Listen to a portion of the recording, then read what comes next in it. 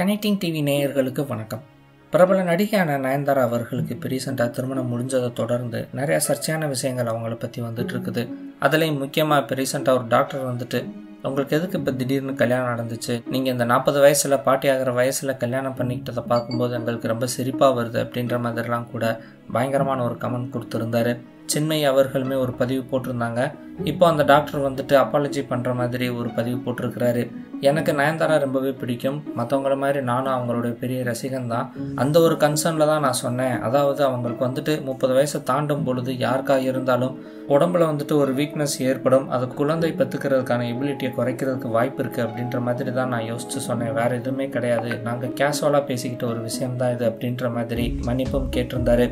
திருமணம் முடிஞ்சாலும் அவங்கள பற்றி நிறையாவே பேச்சுக்கள் வந்துக்கிட்டு இருக்கு அப்படின்றதுல எந்த விதமான சந்தேகமும் இல்லை.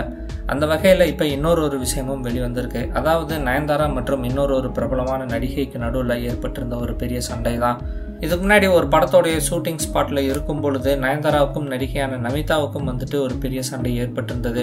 பில்லா அப்படின்னு சொல்லக்கூடிய தல அஜித் அவர்களுடைய படத்தில் நடிச்சிருப்பாங்க நமிதா மற்றும் நயன்தாரா. அந்த படத்தோடைய ஷூட்டிங் ஸ்பாட்டில் ஆரம்பத்தில் நான் தான் போயிட்டு நமிதா கிட்ட பேசினேன். ஆனால் எங்களுக்குள்ள எந்த விதமான பிரச்சனையும் இல்லை. ஆனால் திடீர்னு அவங்க என்கிட்ட இருந்து பேசுகிறதே நிறுத்திட்டாங்க அப்படின்ற மாதிரி சொல்லியிருந்தாங்க. நாங்கள் எல்லாம் ஒன்றா உட்காந்துட்டு இருக்கும்பொழுது வருவாங்க ஹாய் அப்படின்னு சொல்லிட்டு போய்கிட்டே இருப்பாங்க. என்ன நடக்குது? அப்படின்றது எனக்கு ஒன்றும் புரியாது. அதுக்கப்புறம் தான் வந்துட்டு என் கூட பிரச்சனை ஏதோ இருக்குது அப்படின்ற மாதிரி நான் உணர்ந்தேன். அதுக்கப்புறம் நானும் அவங்கக்கிட்ட எதுவும் பேசுறதில்ல அப்படின்ற மாதிரி சொல்கிறாங்க மற்றவங்களுக்கு பிரச்சனை இருக்குதுன்னா அது அவங்களுடைய பிரச்சனை அதில் நம்ம தலையிட முடியாது. நம்மளை பற்றி எதுவும் நினச்சாங்கன்னா அது அவங்களுடைய ப்ராப்ளம் அதுக்காக வந்துட்டு நம்ம போய் அதையே பேசிகிட்டு இருக்க முடியாது அப்படின்னு சொல்லி நயன்தாரா அதை பற்றி பேசியிருந்தது. ரொம்பவே இப்போ வைரலாக பார்க்கப்பட்டு வந்துட்டு இருக்குது. இது ஒரு பக்கம் இருக்க நயன்தாரா அவர்களோட சேர்ந்து சமந்தா அவர்கள் வந்து நடிச்சிருப்பாங்க இல்லையா காத்துவாக்கில் ரெண்டு காதல் அப்படின்ற ஒரு படம். ஆனால் திருமணத்துக்கு அவங்களுமே வரல அப்படின்றது குறிப்பிடத்தக்கது. இப்போது சமந்தா அவர்கள் வந்துட்டு ரீசெண்டாக ஒரு ஃபோட்டோ வந்து வெளியிட்டிருக்காங்க.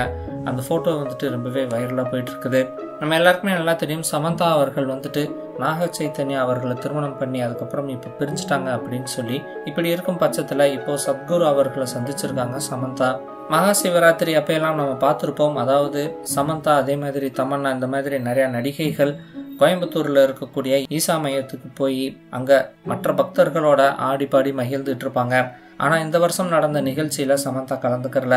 அந்த சமயத்தில் தான் சமந்தாவுக்கும் விவாகரத்து ஏற்பட்டிருந்தது அப்படின்னே சொல்லலாம். இப்படி ஒரு நிலையில் விவாகரத்துக்கு அப்புறம் முதல் தடவையாக சமந்தா அவர்கள் வந்துட்டு சத்குருவை போய் சந்திச்சிருக்காங்க. அதாவது சத்குரு அவர்களுடைய சேவ் சாயல் அப்படின்னு சொல்லக்கூடிய ஒரு நிகழ்ச்சிக்கு தொடர்பாக சமந்தா அவர்கள் வந்து போய் கலந்துக்கிட்டாங்களாம் இந்த நிகழ்ச்சி ஹைதராபாத்தில் நடந்திருக்கு. அப்போ எடுக்கப்பட்ட புகைப்படங்கள் இப்போ சோசியல் மீடியாவில் ரொம்பவே வைரலாக போயிட்டு இருக்கு அப்படின்னு தான் சொல்லணும். ஸோ நீங்கள் இந்த வீடியோ பற்றின உங்களுடைய கருத்துக்களை இங்கே கமெண்ட் பாக்ஸில் பதிவு பண்ணுங்கள் இந்த வீடியோவை உங்கள் நண்பர்களுக்கும் ஷேர் பண்ணுங்கள் கனெக்டிங் டிவியோட அப்டேட்ஸ்லாம் தெரிஞ்சுக்கிறதுக்கு சப்ஸ்கிரைப் பண்ணி கூடவே நோட்டிஃபிகேஷன் பெல்லையும் கிளிக் பண்ணிடுங்க இது வரைக்கும் கனெக்டிங் டிவிக்கு சப்ஸ்கிரைப் பண்ணனா மறக்காம சப்ஸ்கிரைப் பண்ணிக்கங்க. உடனடி அப்டேட்ஸ் பெறுவதற்கு நோட்டிஃபிகேஷன் பெல்லையும் கிளிக் பண்ணிக்கங்க.